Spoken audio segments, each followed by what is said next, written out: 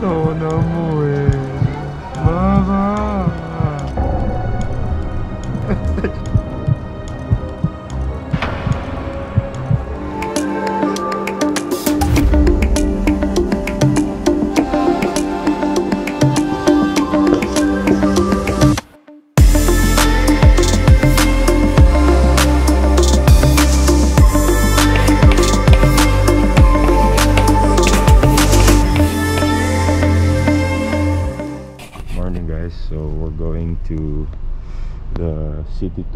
Today.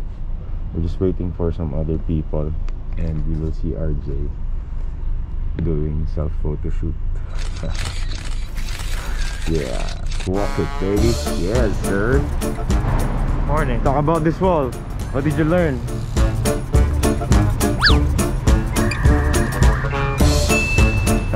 so guys, they call this the Great Wall of Dubai. So apparently years ago, Dubai is only from this point onwards. But then they built around this and there's like. This used to be Dubai's Great Wall that separates them from other countries. I think so, yeah. And sabi nung tour guide, yung ginamit daw na material dito ay coral, coral rocks. Kasi daw, oh, kasi daw yung coral, nag-absorb siya ng heat.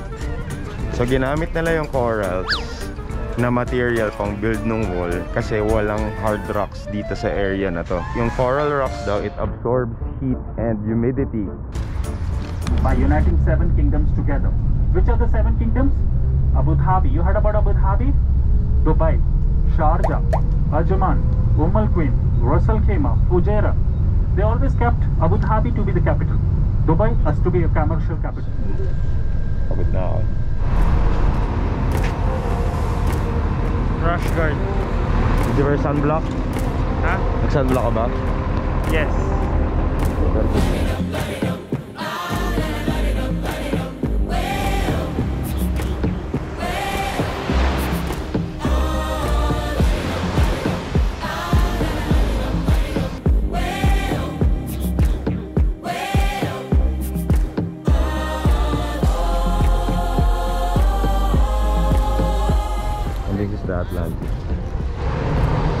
that's it. That ends our tour, our city tour. And now we are hungry. Are we? Yeah, super. We should go and get lunch somewhere around this area. Jerusalem feels. This place is called Old Dubai because it looks like Old Dubai. It's a very ano, 'di ba? Parang nakikita ko lang tong mga ganitong mga ganitong scenery sa ano sa mga Bible times movies ganyan. So I suppose like ito ay gawa sa coral reefs and all that smell. Oh man. Galing na tibay. Hmm, oo. Hawakan nga natin. We are going to the boat and we will eat here.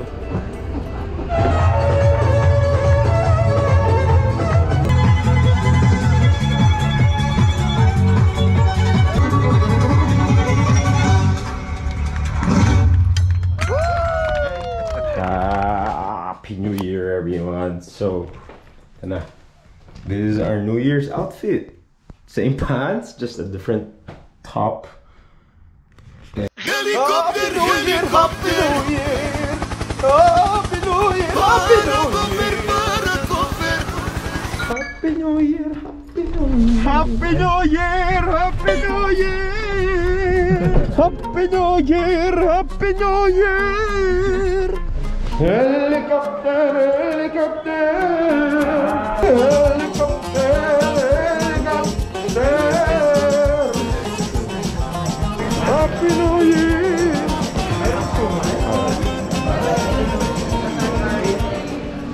So, tara na. Let's go to the Bukhol.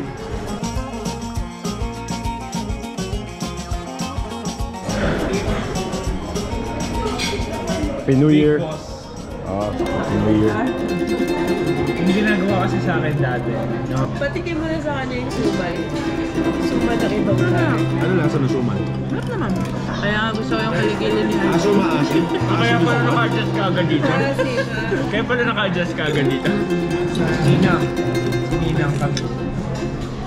Pipili ko talaga. Yung RM namin for the New Year. Ay. Saway mo yun. Sa kayo wag mo.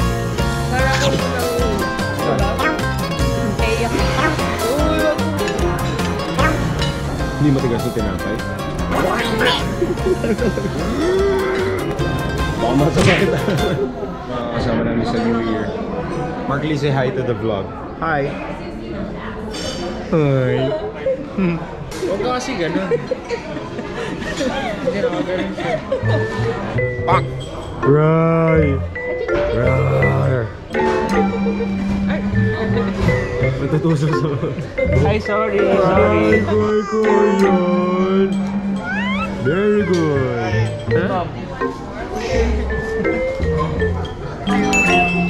Bata, bata, pick! Okay, bye. Bye 2021. Galing, galing. Bata, bata, pick! Oh.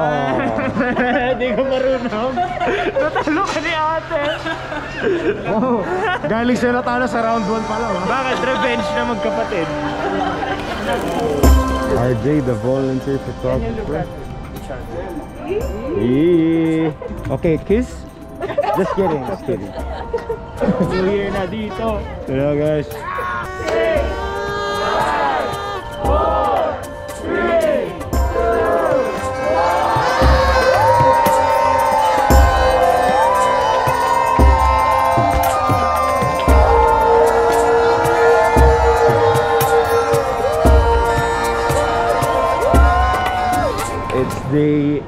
I don't know, New Year's Day, January 1.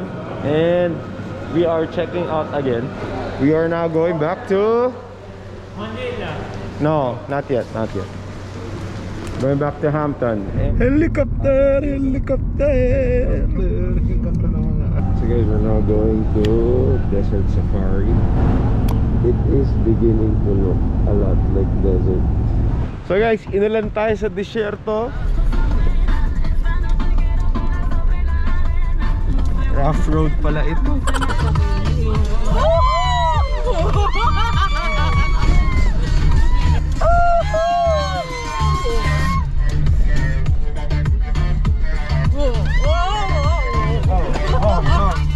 Hindi ko alam kung tayo ba yung nag-enjoy o si kuya yung nag-enjoy. Look at me. Okay. Wala na. 20. 20.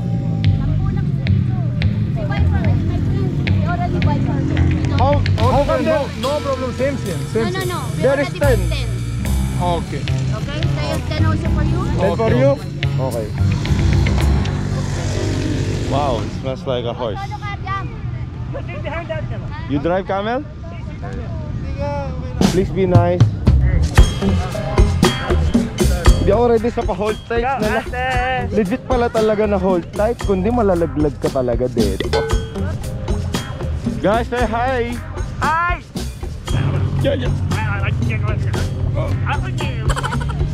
Helicamel, helicamel! Guys, we are in the middle of the desert.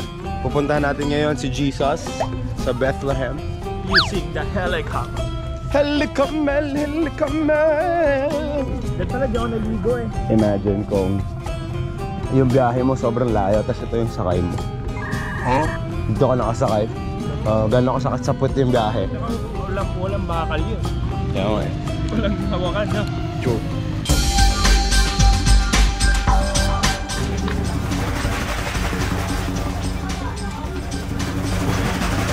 Kona mo eh. Mama. Ma. So guys, dahil inalan tayo dito sa Desert Safari, eto. Para tayo nasa ano, evacuation center. Huwag po kayong manahimik o magdalawang isip. Kung may alam kayong katiwalian o reklamo, ipaalam ninyo sa sumbungan ng hatlo, ng sumbungan ng bayan. I'm gonna go. Punta ka pa sa ibang bansa. Wanna go? Home. No finish, no show. Please translate. Tito RJ, I wanna go home. Eh. Anyone here who would like to go home? Okay, let's start walking. Let's walk together as a big group, okay? No hub. We will ride the camel. No finish, no show. I just wanted. Gusto ko lang naman mais. Yan lang lang may pinunta ko dito, yung mais. May mais daw dito. Sa mangyayari ba? Mag-e-eba. Pala kami. Oh. Helicopter! Helicopter!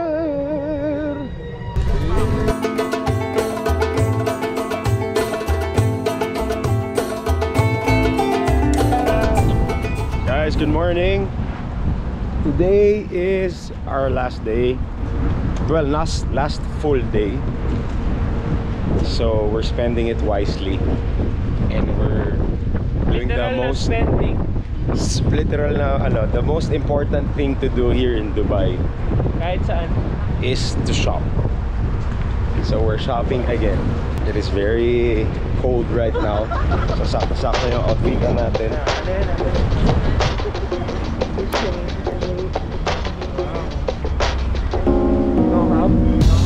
So guys, ayan, nabudol na naman ako. Bibili na naman ako. Okay. Okay po ba mga kababayan?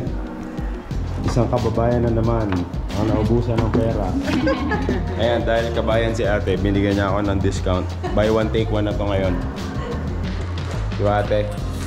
Daw. Narinig ko. Pinapanood ka ng mga kababayan natin ngayon. Ano masasabi mo?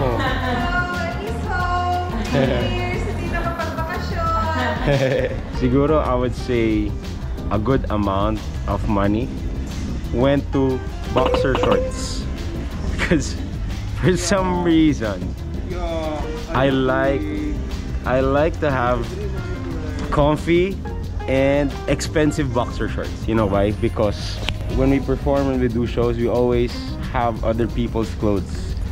Meaning, yung mga damit namin are from the stylist, ganyan. So, the only thing that remains with us is our boxers.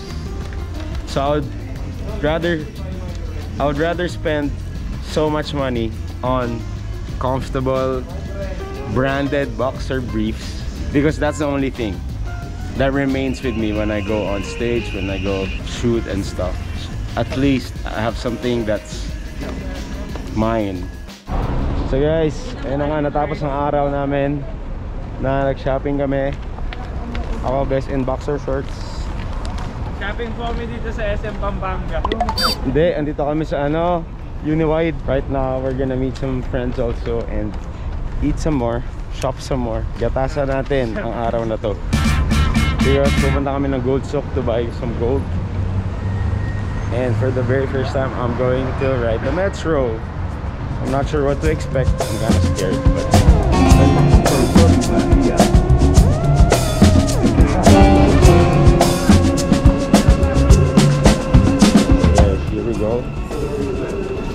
medyo maluwag na.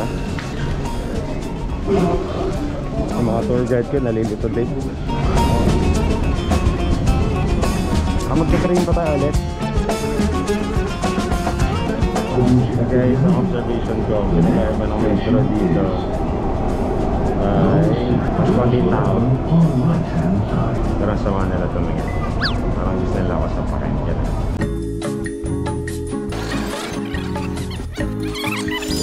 Happy New Year! Happy New Year! Helicopter!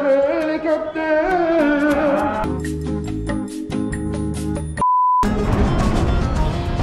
Guys, we are going to go to Parang di, uminit oh, sa ano?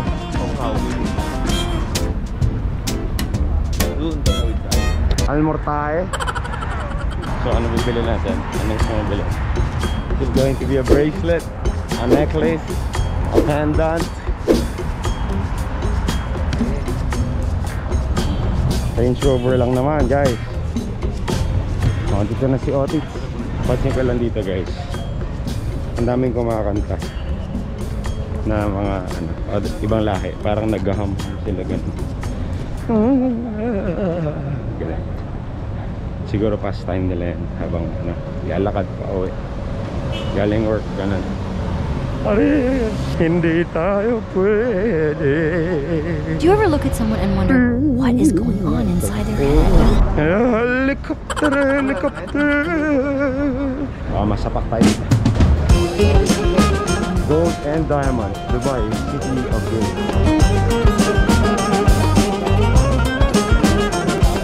Grabe to, oh.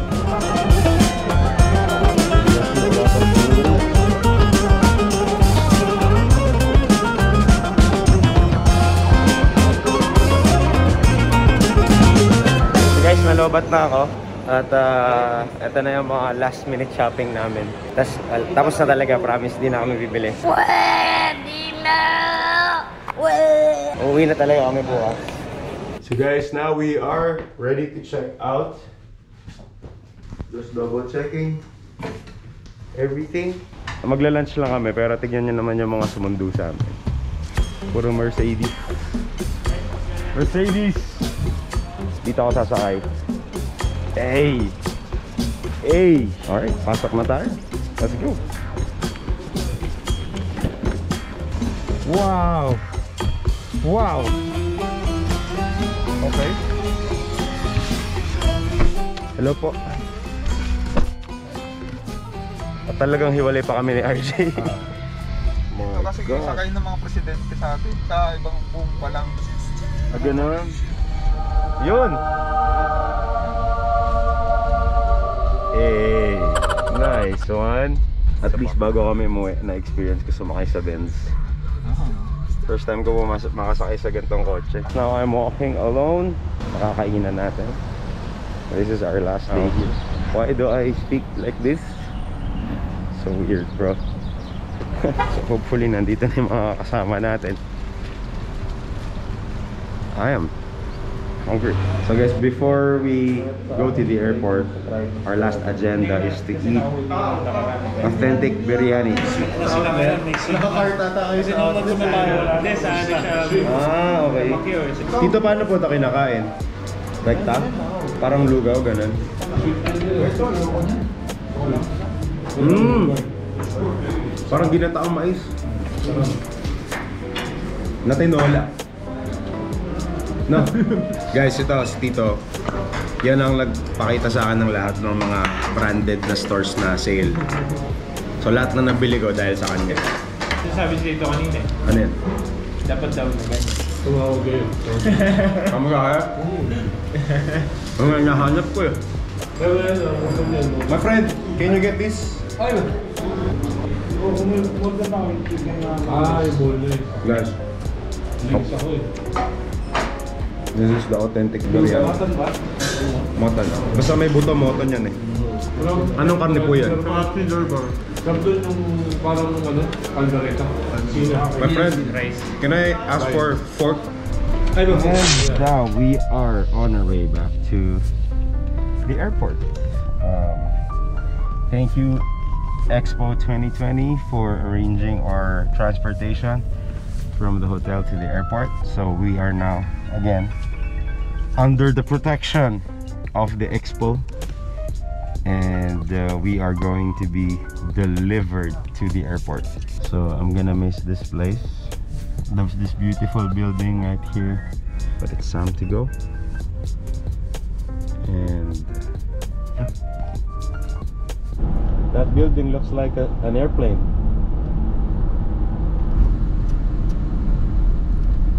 So guys, this is it. Pag uwi natin ng Pilipinas, iba na yung color grading nito. Nag-thank you po ako.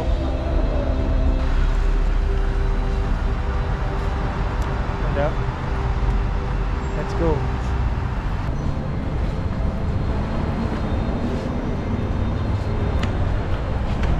Ay, sorry, sorry, sorry. Ay, sorry, sorry, sorry.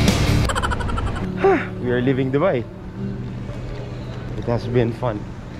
Thank you for the memories. Dubai.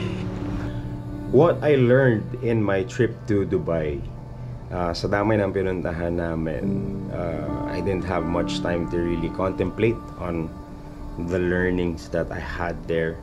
But if there's one thing that I noticed, um, unlike the Philippines, na rich in natural resources, rich in nature and beautiful, amazing sceneries, in Dubai, really, they started with the desert. Like it's a plain desert. There's literally sand and that's it.